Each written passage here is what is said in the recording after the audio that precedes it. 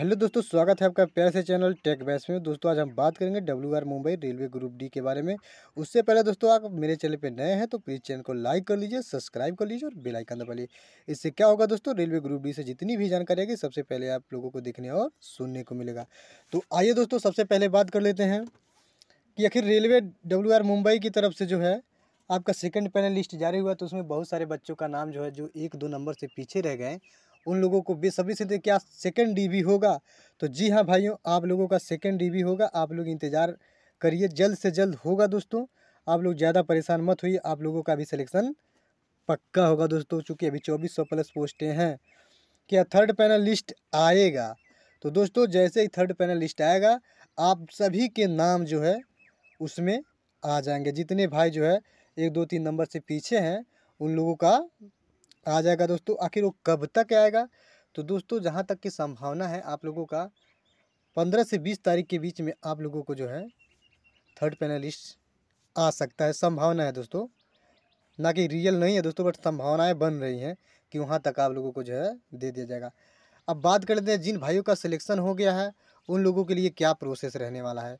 तो मैं उन भाइयों से बता दूँ, जिन भाइयों का सिलेक्शन हो गया है उन लोगों को बेसब्री से इंतज़ार है ज्वाइनिंग लेटर का। तो दोस्तों ज्वाइनिंग लेटर आपका लगभग लगभग पंद्रह मई तक आने की संभावना है और थोड़ी सी कुछ इंपॉर्टेंट डॉक्यूमेंट्स के बारे में बात कर लेते हैं दोस्तों, जो रेलवे के लिए बहुत ही इंपॉर्टेंट होती है। दोस्तों, जब आप लोगों का एनपीएस का फॉर्म भरा जाता है तो उसमें आप लोगों को पैन कार्ड लगता है। तो आप लोग जो है पैन कार्ड को भी बनवा लीजिएगा। हालाँकि उम्मीद है सभी के पास होगा और कैरेक्टर सर्टिफिकेट बनवा के रखिएगा। कैरेक्टर सर्टिफिकेट जो है यूनिवर्सिटी का नहीं रहेगा दोस्तों, आपको पुलिस कैप्टन से बनवाना पड़ेगा।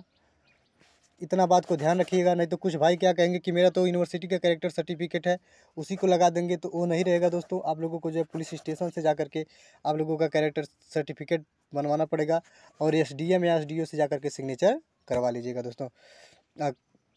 बात कर लेते हैं दोस्तों, अगला सर्टिफिकेट क्या रहने वाला है? तो अगला आपका कास्ट सर्टिफिकेट रहेगा। जिन भाइयों का कास्ट सर्टिफिकेट लेकर के चाहे एज हो या किसी भी मतलब छूट पाए हैं, उन लोगों के लिए जो है कास्ट सर्टिफिकेट की ज़रूरी है, उसको भी रहना चाहिए। बाकी आप लोगों को पता ही होगा कि आधार कार्ड सभी का होना चाहिए फ़ोटो सभी के पास होना चाहिए मार्कशीट सभी के पास होना चाहिए दोस्तों। ये सब तो कंपलसरी है दोस्तों।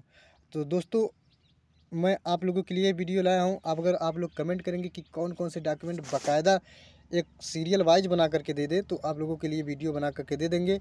लेकिन भाई, आप लोगों का ज्वाइनिंग जहाँ तक ज्वाइनिंग लेटर है तो पंद्रह तक आ सकता है। और जिन भाइयों का अभी जो है लिस्ट में नाम नहीं आया, वो लोग भाई पंद्रह से बीस मई तक इंतज़ार करें। उन लोगों के आने की संभावना है थर्ड पैनल लिस्ट जारी होने की। तो आइए दोस्तों, अब चलते हैं, हम अपनी वीडियो को समाप्त करते हैं। मिलते हैं अगली वीडियो में। जैसे ही कोई जानकारी मिलती है धन्यवाद जय हिंद।